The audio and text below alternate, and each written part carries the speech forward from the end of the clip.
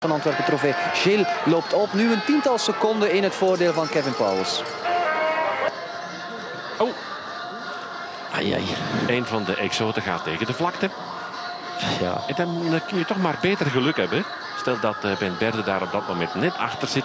Dan kan het wel eens gebeuren dat hij over deze Benoit Seymour is toch een, toch een brave jongens. Hè. Dus eh, Ben kruipt ertussen. Dat elleboogje gaat iets opzij. Ah, een Als, als je dat met de verkeerde doet, dan is het eh, een ronde later 1-1, denk ik.